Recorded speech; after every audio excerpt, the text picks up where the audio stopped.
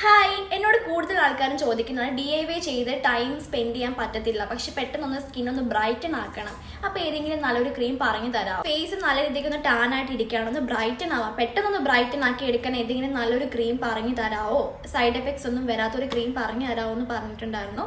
അപ്പോൾ ഇതാണ് ലൂക്കയുടെ മിക്സിംഗ് ക്രീം ഈ ക്രീം വരുന്നത് ഇങ്ങനെയാണ്. ഇവരുടെ ബോട്ടിലൊക്കെ നല്ല ഭംഗിയാണ് കാണാനായിട്ട്.